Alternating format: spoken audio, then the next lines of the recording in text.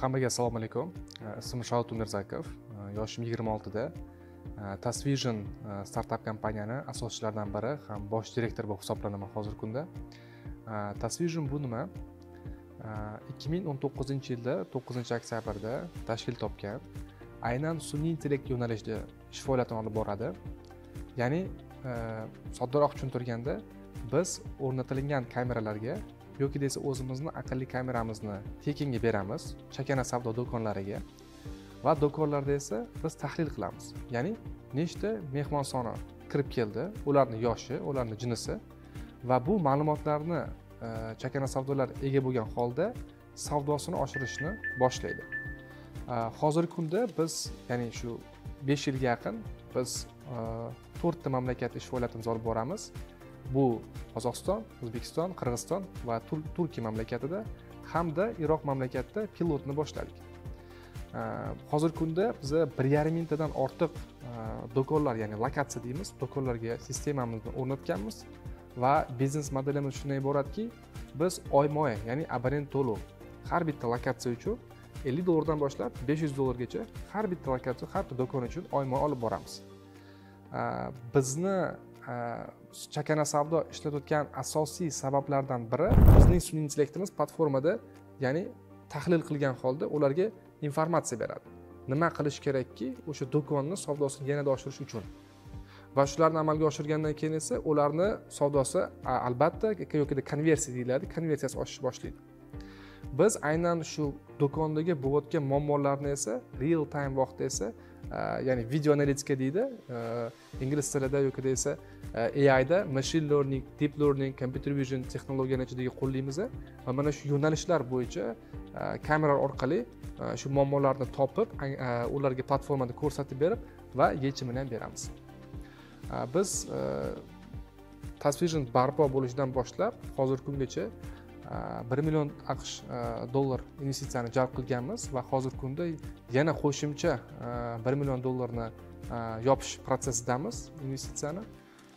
Kompaniyamiz hozirgi kunda o'n million dollarga baholangan. Biz mana shu ikki ming yigirma to'rtni yilni oxirida o'ttiz o'ttiz besh million dollarga inshaalloh maqsad qo'yganmiz.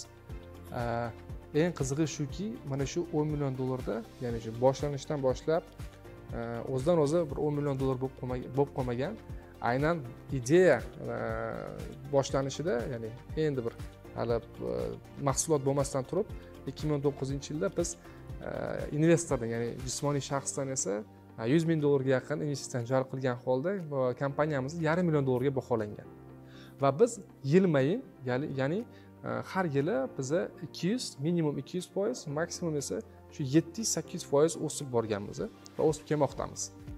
Va ana shu tufayli ya'ni investitsiyani olgan jalb qilgan investitsiyamizni to'g'ri ya'ni shu effektivni e, shuni boshqarganimiz uchun ya'ni to'g'ri joylarga investitsiya qilganimiz uchun e, biz yilma yil o'sib bormoqdamiz.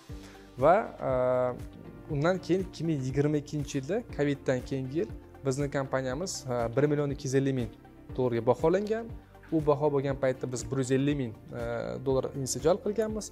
Uch oy o'tib uch million dollarga baholangan va yana yuz ming jalb qilganmiz.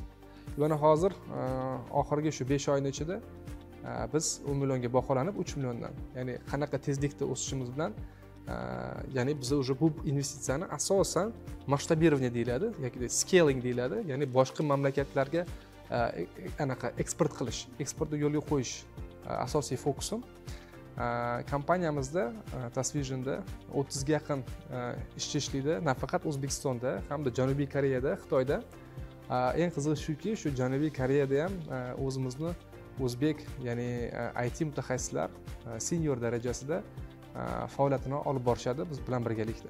Agar rejaga keladigan bo'lsak e, texnologiyada biz face idni qo'llashni boshladik. Aynan shu chakana savdolarga face id yangi modullar yangi algoritm yaratishi yo'l qo'yganmiz va shu yo'l xaritasida e, ya'ni shu injenerlarimiz sun'iy intellekt injenerlari e, bir yarim yilga yozilgan plani bor. O'sha именно face id bo'yicha va undan tashqari shu crm deyiladi customer relationship o'shani modullarini qo'shganimizda ishlatib kelayotgan bizni mahsulot kompaniyalarga ikki barobarga qimmatroq ham sotsak bo'ladi. Eng qizig'i mana shu grantni biza innovatsion e, rivojlanish agentligi tomonidan e, olib kelganmiz. Shu narsani amalga oshirganimizdan keyin bu asosiy grantni biza e, o'zimizni injenerlar ya'ni injenerlar sonini ko'paytirish va ularga ya'ni yo'l xarita qilganimizda ikki yilga maqsad qo'yilgan. O'shani biz bir yilda amalga oshirganmiz va shu tufayli biza Э, o'sha oxirgi to'rt yil mobaynida tezroq o'sib kelmoqdamiz chin plan qo'yganimizdan e, tashqari.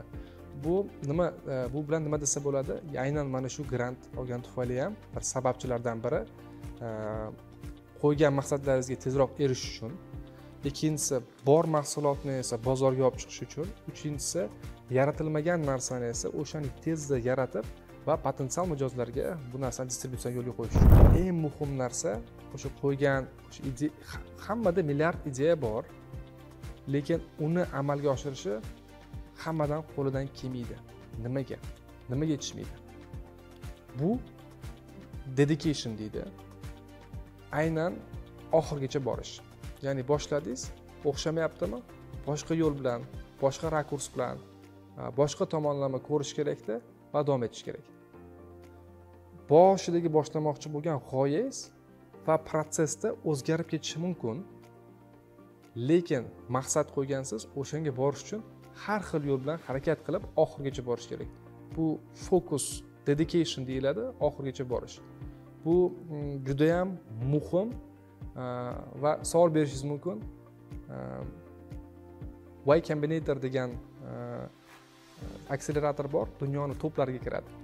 Va o'sha top akseleratorda savol berishgan. O'n mingtadan ko'p startaplarga investitsiya kiritgansiz lekin ichidan yuztasi esa milliard dollarlik ya'ni ya'ni yakkashoxli bo'lgan startaplar bo'ldi.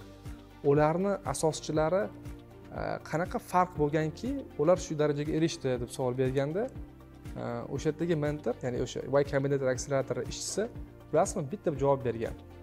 Bu full dedication. Ya'ni qo'ygan maqsadni oxirigacha borish farqi yo'q qaysi yo'l bilan и qanaqa e, qaysi e, tomonlama qarash. Aynan qo'yildi maqsad va o'shanga borish oxirigacha.